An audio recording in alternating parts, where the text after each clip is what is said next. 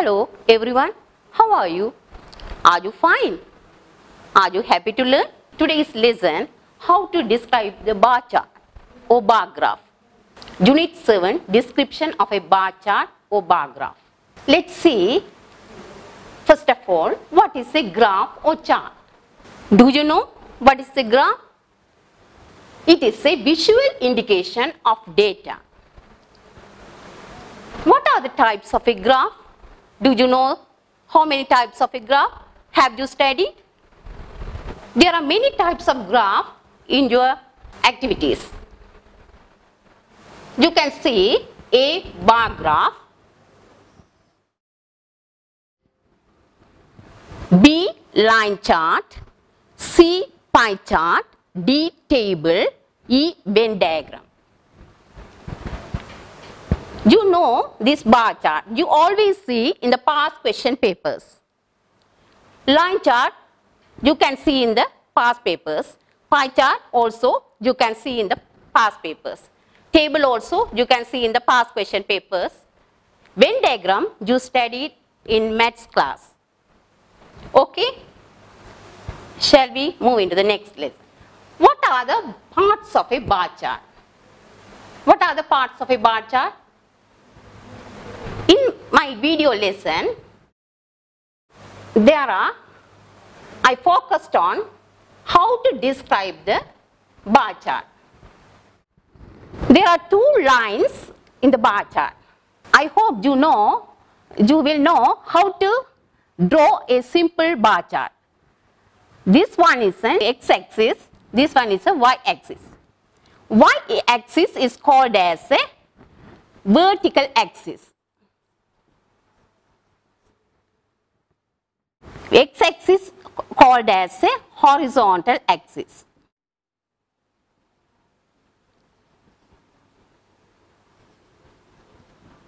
We can use the numbers, percentages, frequencies,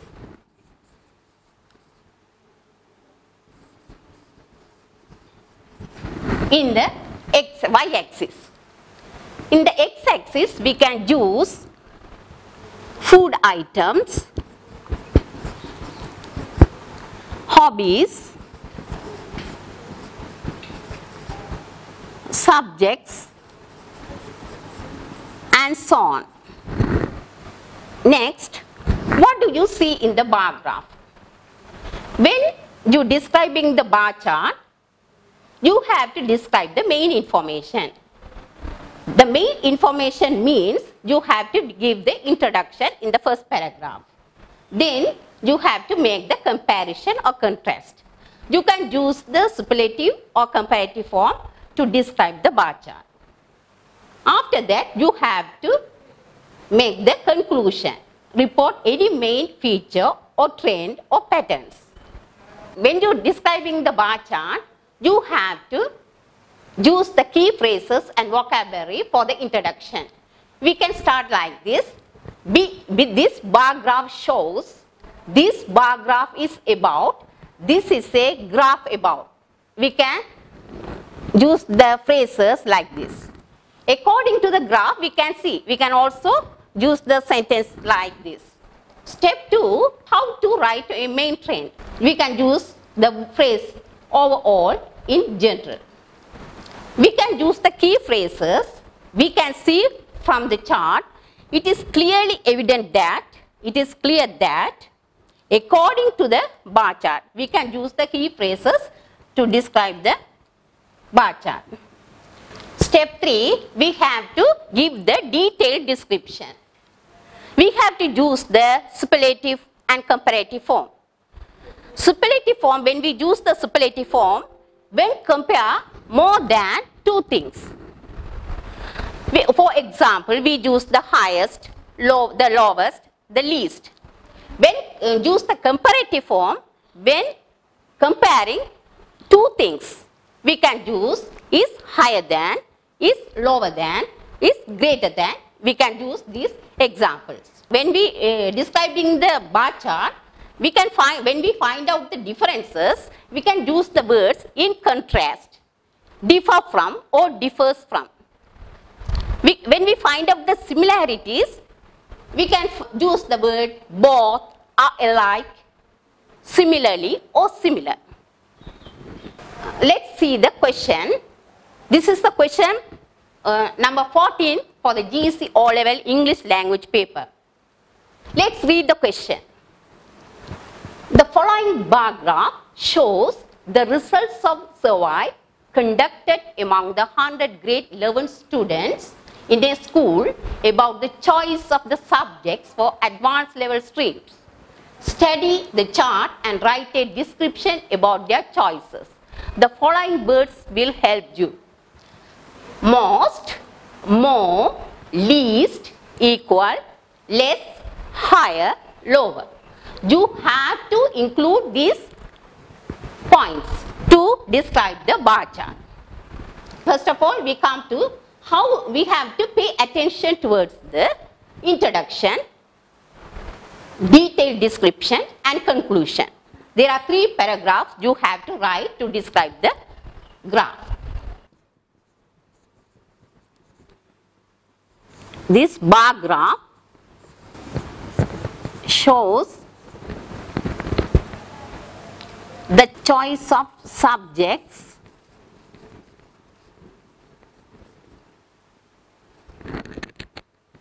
in a school. Start like this. This bar graph shows the choice of subjects in a school.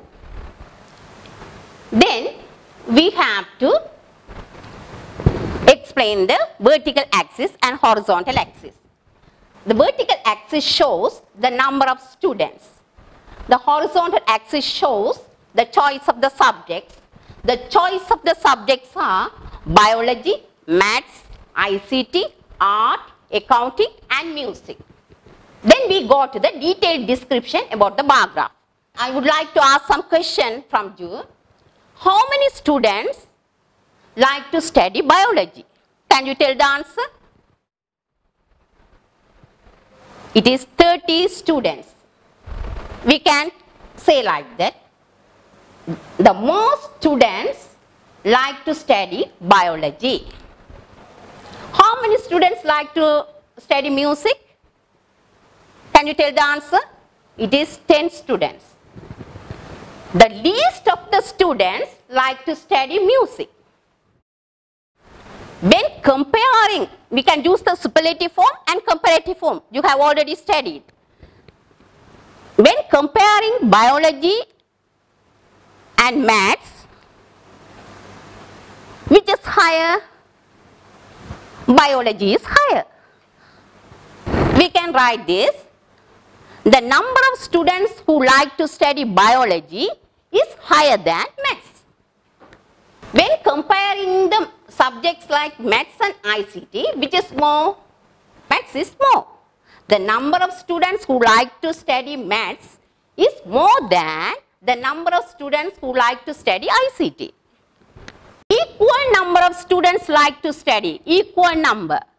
Equal number of students like to study ICT and accounting, which is 12 students. When comparing the subjects like accounting and music, which is lower, music is lower. The number of students who like to study music is lower than the number of students who like to study accounting. We come to the conclusion. According to the bar chart, we come to the conclusion the highest number of students like to study biology. Okay? Have you understood? Now, we are going to match A with B. We have to read the sentence in, the, in column A. Then B column B, then only you have to match A with B. The most of the students like to study, you can answer the question based on the graph. The most of the students like to study which subject? Biology. The least of the students like to study. Which subject least of the students? Music. Equal number of students like to study ICT and accounting. Many students like to study accounting? 12 students. When comparing the subject art and ICT, which is higher? When comparing the art and ICT. Look at the chart. Art and ICT. Which is higher? Art is higher.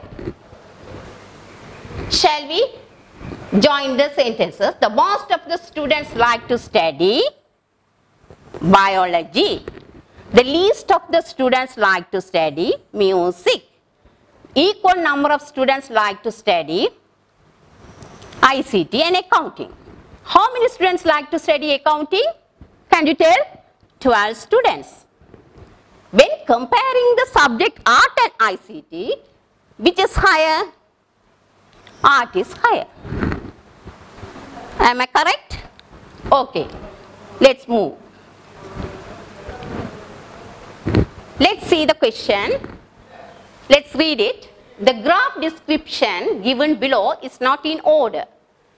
Reorder the graph description. First, let's read. First, according to the bar chart, we come to the conclusion the highest number of students like to study biology. Number two, horizontal axis shows the subjects. Vertical axis shows the number of students. Most of the students like to study biology, while the least of the students like to study music.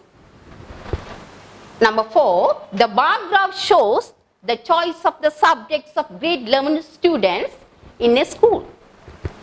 Number five, number of students who like to study biology is more than the number of students who like to study maths. Look at the bar chart and you have to reorder them. Can you tell? You have already know. First one, introduction comes first. Then detailed description. Finally, we come to the conclusion. Can you find out the introduction? The bar graph shows the choice of the subjects of grade 11 students in a school. That is an introduction. Then horizontal axis shows the number of subjects, vertical axis shows the number of students. Number 2. Then we come to the detailed description. The most of the students like to study biology while the least of the students like to study music. This come to the detailed description. The number of students who like to study biology is more than the number of students who like to study maths. It, it also comes to the detailed description. Number 4. Finally, we come to the conclusion. According to the bar chart, we come to the conclusion the highest number of students like to study biology. This one is a conclusion. Am I right? Have you understood? Okay, let's move. Now, let's see the marking criteria. In the GEC O-level paper, this is the question number 14.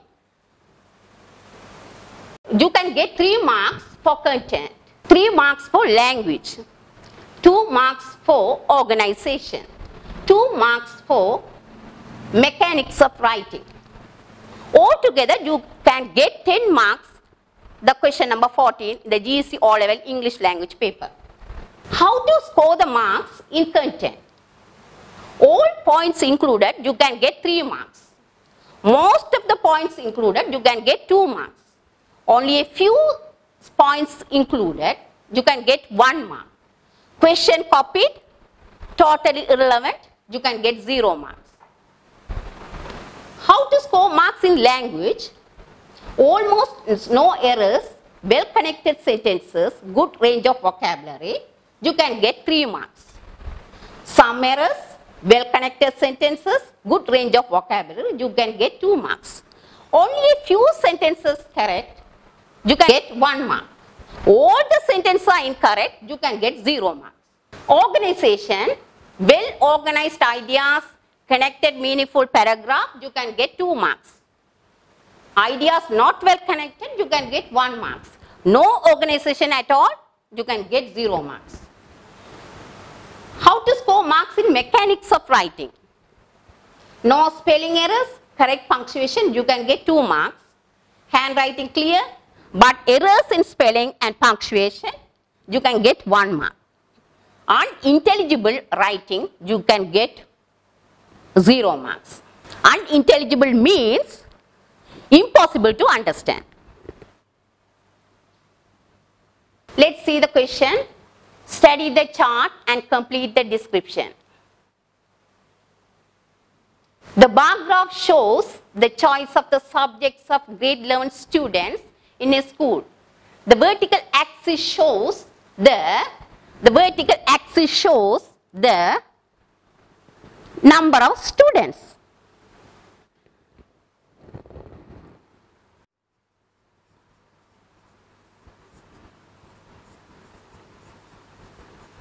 number of students. The horizontal axis shows, this one is a horizontal axis shows the choice of the subjects.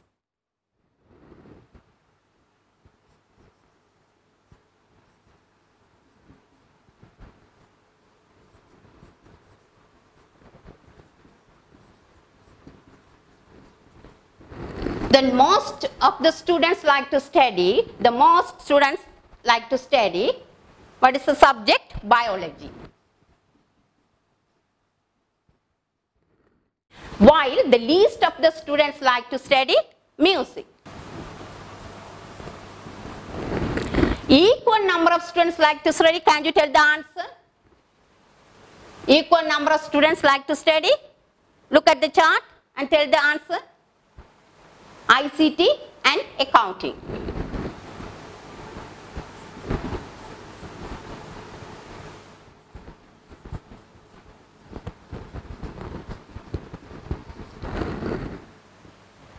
the number of students who like to study biology than the number of students who like to study art. When we compare the two things, when we, the two things, biology and art. When we compare the two things, two subjects, when compare the biology and art, which is higher? Biology. You can use more or higher.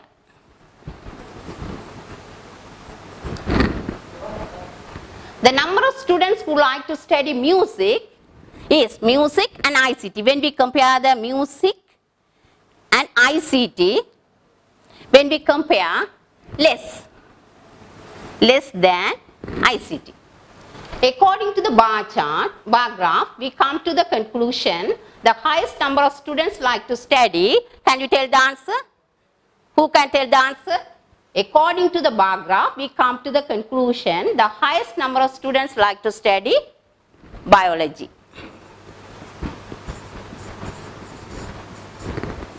Thank you.